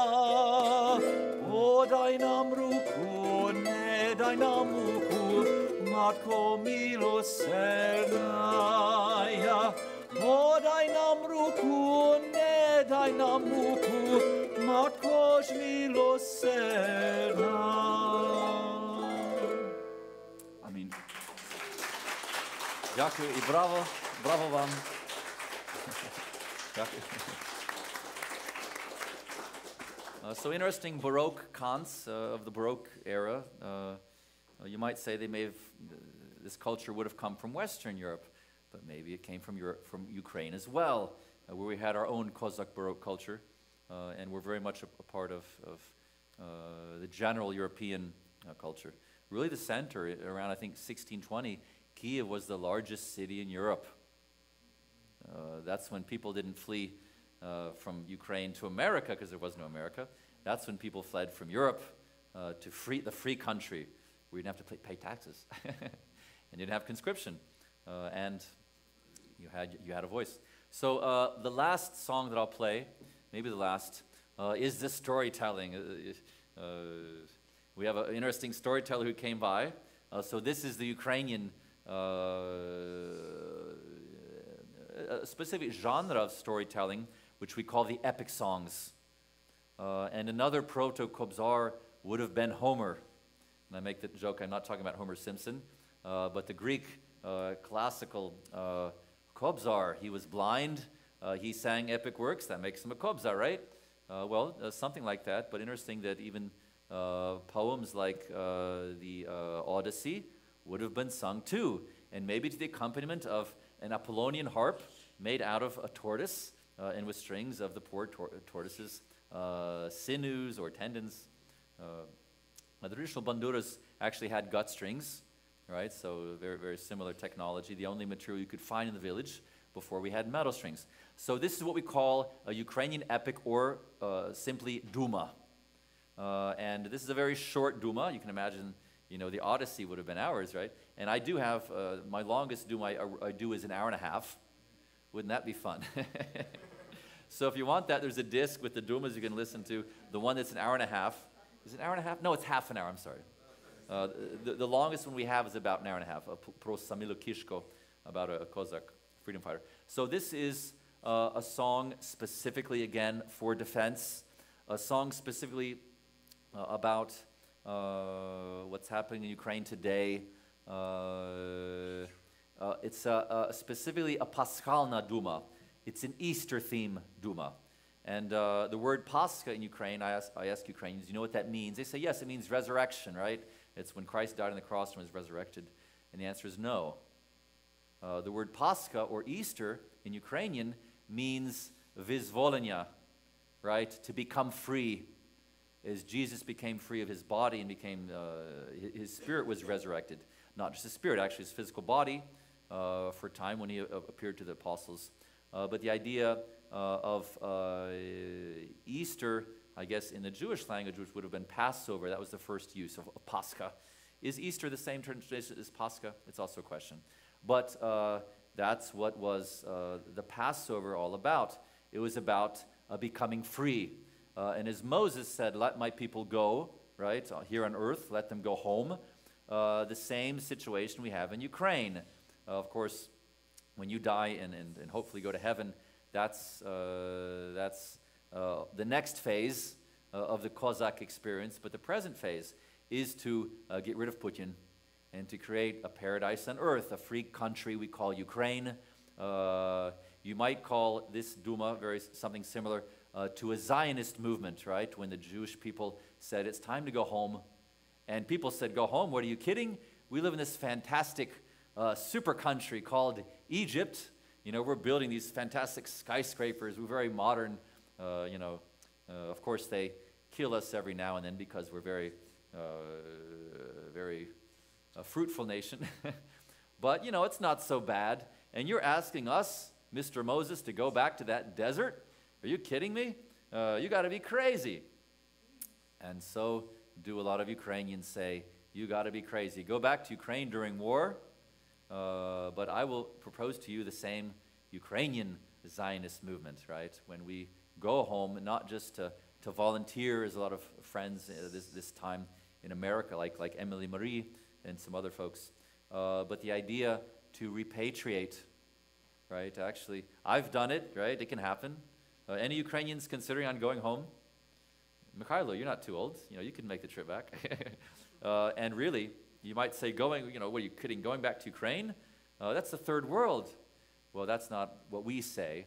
Uh, and especially, you can see how our Ukraine is very dynamically developing by leaps and bounds especially during the revolutions. And what we're having now is what we call the third revolution. Maidan krapka, krapka nul, right? Not just the Maidan in Kiev, but all of Ukraine. And the developmental process is very significant. Uh, we're very much uh, creating a, a, un, a, union, union in Ukraine between East and West. Uh, we're, you know, our values are getting in order, right? The ideas of defending your country, risking your life for your brethren. These are spiritual. There's no greater gift, as Jesus said. And we have lots of those cases in Ukraine. Uh, so this is spiritual development, uh, which we've been waiting for. Uh, and this Duma is uh, basically, I'll tell you what I'm singing about, but it's the same idea. You have 750 Cossacks. They're in a dungeon in Turkey, right? Uh, and uh, they don't have a window. They don't even know how long they've been there, but they've been there for 30 years, rotting, right? They're in chains. Uh, and the Duma is, is basically the conversation between the Cossacks and another Ukrainian who's in that palace, but she's not in the dungeon. She's on top of the Persian rugs. Uh, she's one of the uh, concubines, right? The sex slaves. Uh, she was Ukrainian, probably captured in a, a raid, taken back and sold, sold into slavery. And she comes down the stairs uh, and gives the Cossacks a very simple question. Uh, she says, Do you know what day today is? And of course, the Cossacks have no idea. So they say, You know, how can we know? We've been here for 30 years, but we don't know we've been here for 30 years because we don't have a, a, any sunlight, you know, to see the sun, how many times it comes and goes. But uh, she says, I know you don't know. For your information, uh, tomorrow is Easter Sunday. And you might say, Big deal, right? Well, for the Cossacks, it's a big deal because when you're celebrating the resurrection, and the Cossacks would like to resurrect Ukraine, but they can't because they're in shackles. They don't want to hear about Easter. For them, they're losing the battle in that dungeon. So they start, you know, rattling their chains and, and calling uh, Marusia some very bad, lewd names because they think that she's making fun of them. But she says, I'm not making fun of you. Uh, yes, I'm on the upper floors on the Persian rugs while you're down here, but uh, I want uh, to, to save you. Right? So she says once the, uh, the Sultan goes uh, to the mosque, she will steal the key and let them out and free them and let her people go. And so they very, very well do this, but the plot twist in the story is when uh, the Cossacks think that she's going with them. And they ask, you know, are you coming home? She says, no. Tell my parents if, if you pass through my village of Bohuslav in the Cherkasky region or Kiev region, uh, uh, tell them not to raise a ransom. Uh, tell my parents, uh, and her father's a priest actually, uh, tell them not to raise a ransom, that I'm not coming home, uh, that it's too late, that I'm happy living abroad. I've become how do I say? Uh, well, uh, she says it's not going to happen, right? It's nice uh, to have very luxurious things uh, and things which we have uh, often even in the diaspora. I don't give people a guilt trip. I try not to. And I like to th- thank people in the diaspora, especially Ukrainian diaspora, uh, who have helped many refugees. And I tell Ukrainians in Ukraine who've never been out of the country, I say, get out, but come back home, right? Uh, get an education, make some money, get some capital, uh, and then come back to Ukraine and help us make a fantastic nation. That's what I do. Uh, you don't have to make a lot of money uh, to be happy. Uh, sometimes the money can work against you if you have too much. So, uh, Duma pro Marusa Bohuslavka, uh, and every Duma ends with a prayer. This one uh, to free us from uh, the many centuries of Muscovite slavery, uh, and finally set Ukraine free.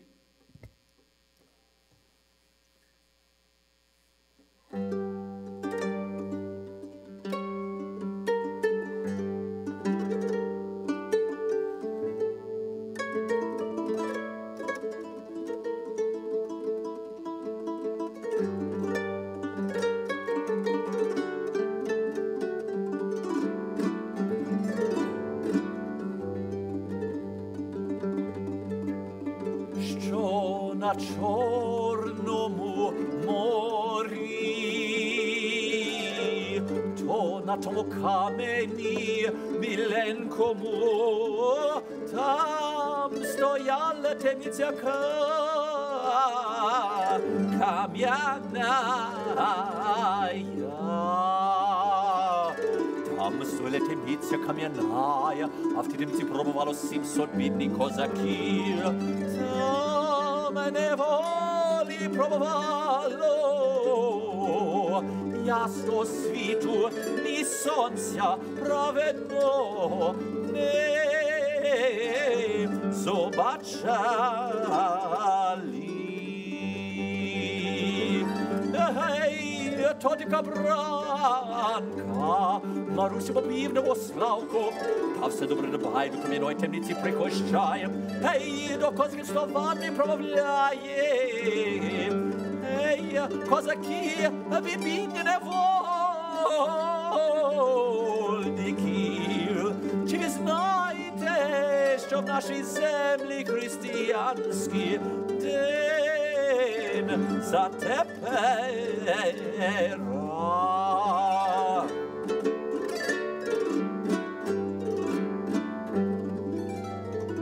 Ей, то як теє козки зачуфали, та тільки бранку Марус Медвославку по речах пізнавали. Ей, кайданами забращали, словами промовляли, сльозами умивали.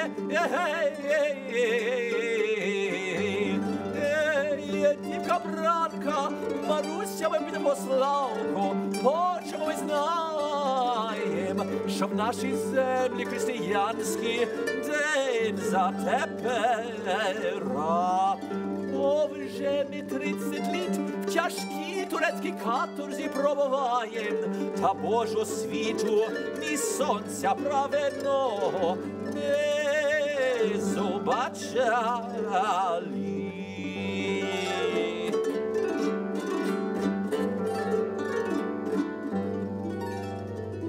Ей, козаки, ви бідні невольники, що в нашій землі християнські.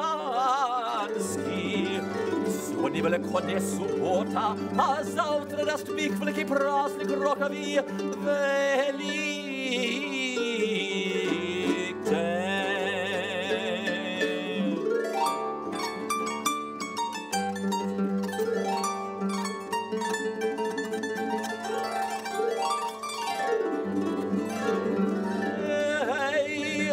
Ей, то як та якось зажували, угору руки піднімали, кайтанами забращали, дівка бранка брусом славку кляли, проклинали. Гей, гей, гей, гей, дівка бранка, бодай би ти щастя долі не зазнала, що ти нам в той час всю правдоньку сказала.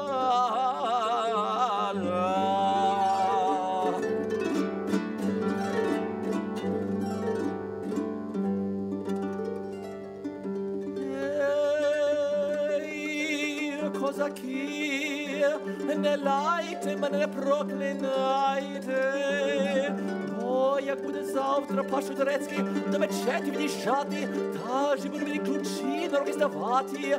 Тоді ж до вас буду приходжати вас на волю випущати.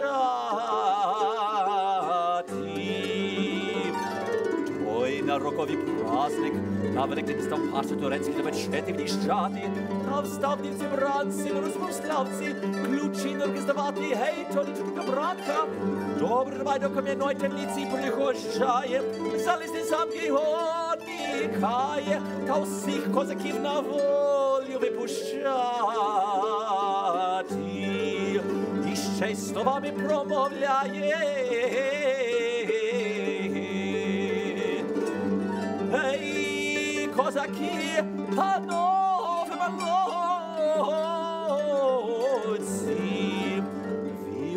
вирушайте на рідні землі, у хорну християнський на ясній зорі, тихі воді край, веселі меж думні хрещені, на Україну.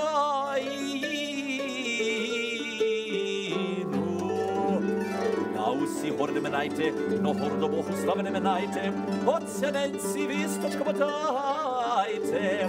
Za nekaj otec nenke v reki stake majke ne zbuvaje, da ne devka branka morsko slavku z nevolji ne vikupljaje.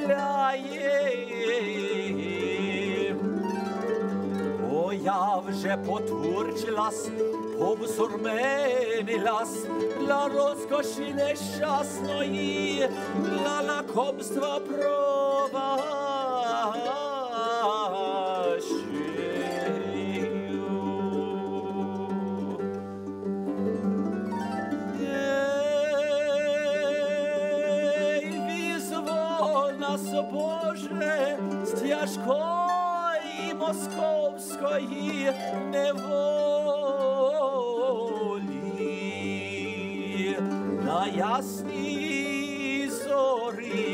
зорі, на тихій воді, у край веселі между мір хрещені,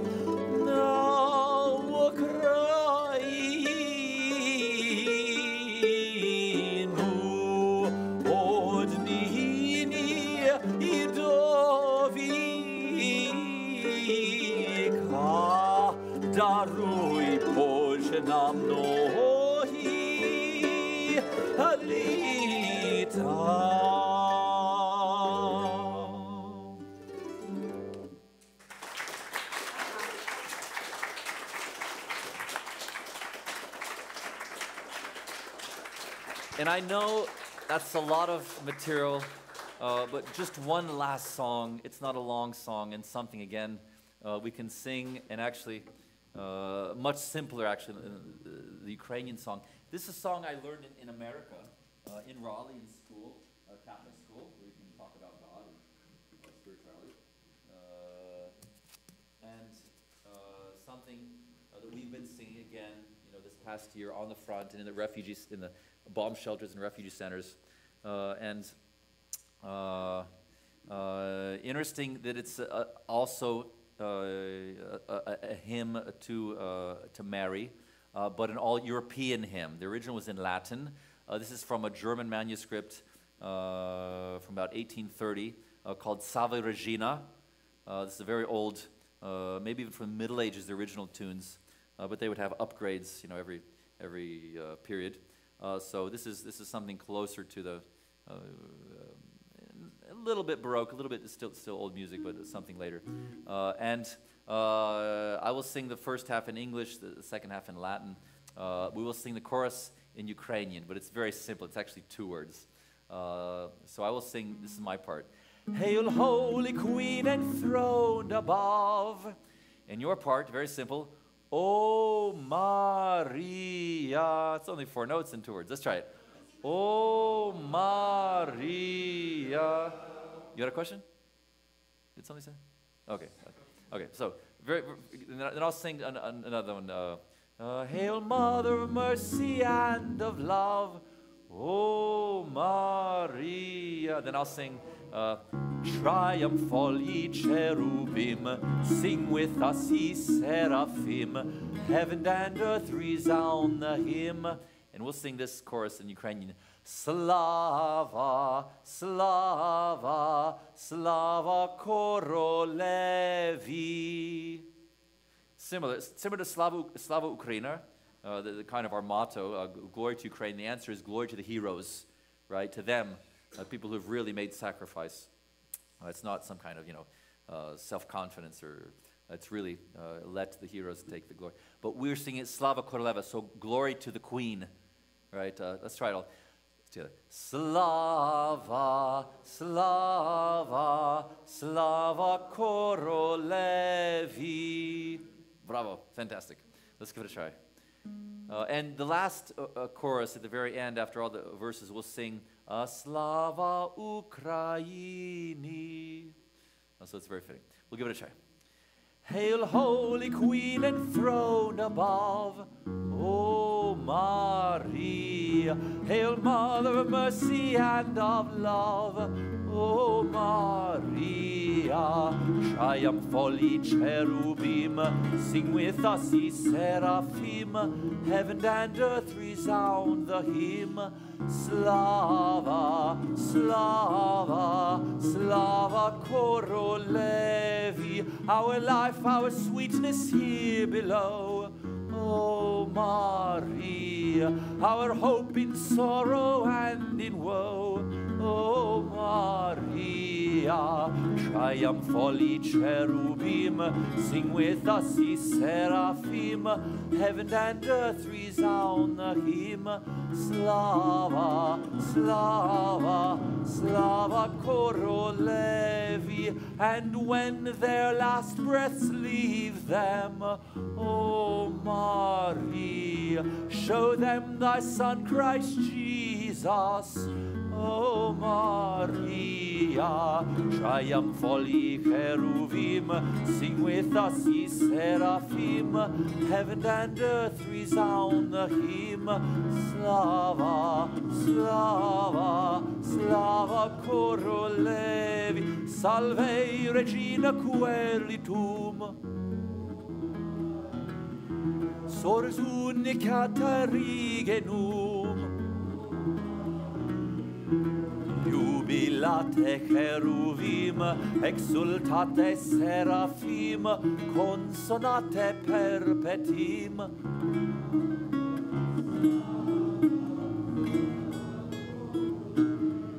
Mater misericordiae Dulcis parens clementiae